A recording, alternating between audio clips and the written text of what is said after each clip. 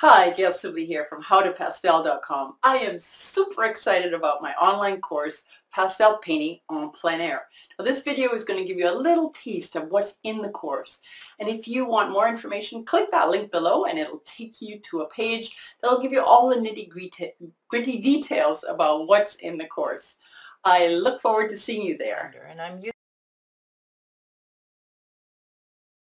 using my hands here to create a viewfinder since I don't have a physical one on me at the time. And by doing that, I'm cropping the landscape. I'm framing only a small portion of the landscape.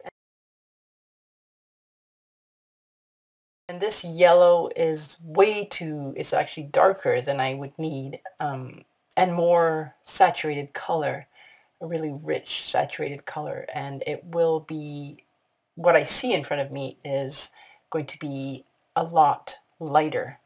Um, the sort of that lovely sun baked, sort of that dried grass look that comes in late summer.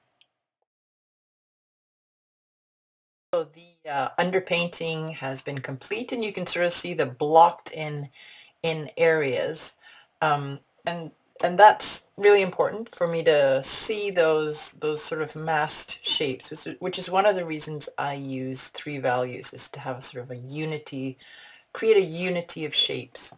Now you'll see that the dark areas are not have been sort of brushed off and the especially the dark area area on the left is the same value now as the fields. So I've come back. I've taken a nice little break and I've come back with fresh eyes to to continue on this piece. And I'm just, you know, I just look around, what do I need, what do I need? And right at this moment, I'm seeing all those little white spots that I'm just trying to get rid of.